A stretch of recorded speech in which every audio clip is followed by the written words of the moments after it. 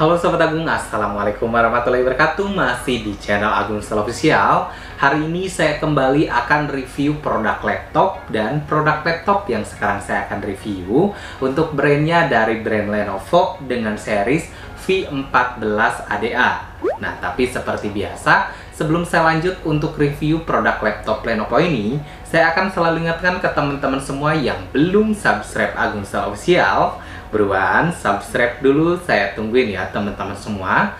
Dan jangan lupa klik juga tombol loncengnya agar teman-teman semua selalu dapat notifikasi ketika Agung Sel Official menayangkan video terbarunya.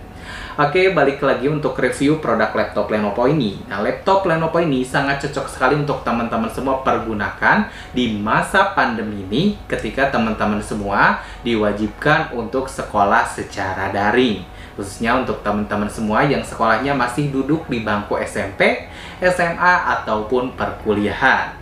Nah, untuk spesifikasi laptop Lenovo ini, untuk prosesornya laptop Lenovo ini dia menggunakan AMD 3020 yang didukung dengan RAM 4GB dan untuk SSD-nya dia menggunakan 256GB. Nah, untuk RAM dari laptop Lenovo ini ada dua varian. Ada yang menggunakan 4 GB dan ada yang menggunakan 8 GB. Nah, nantinya hanya beda di harganya aja. Nah, adapun untuk layar dari laptop Lenovo ini, dia menggunakan ukuran layar 14 inch yang bezel-bezelnya di sini cukup ramping sehingga teman-teman semua dapat merasakan laptop Lenovo ini lebih leluasa, lebih luas ketika teman-teman semua menggunakan laptop Lenovo ini untuk nonton film atau video. Nah, adapun untuk port-portnya mungkin teman-teman semua juga penasaran untuk port-port di laptop Lenovo ini terdapat apa aja. Nah, untuk port-portnya di sini untuk di sisi sebelah kiri teman-teman semua bisa lihat di sini. Untuk port-portnya di sini ada lubang untuk charger, di sampingnya ada port HDMI dan di sampingnya lagi ada tiga port USB. Jadi untuk port USB-nya ini semuanya terdapat di sisi samping sebelah kiri. Adapun untuk di samping sebelah kanan, di sini ada card reader dan ada port combo audio. Nah, itu untuk port-portnya teman-teman. Dan untuk laptop Lenovo ini juga sudah include Windows 10 original. Jadi untuk teman-teman semua yang beli laptop Lenovo ini tidak usah install lagi Windows-nya teman-teman semua tinggal tambahin aja aplikasi-aplikasi yang biasa teman-teman semua pergunakan untuk kegiatan belajar teman-teman semua.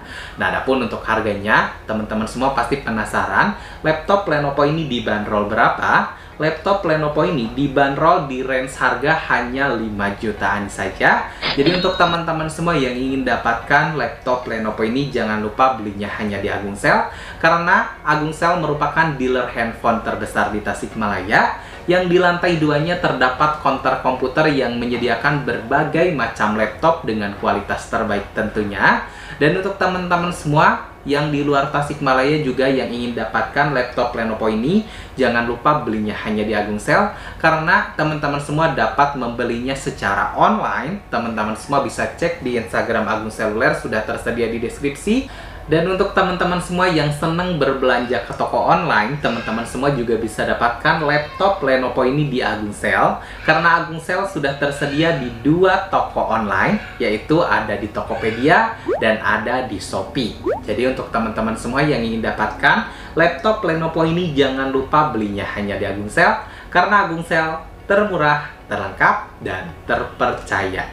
Terima kasih. Jadi aku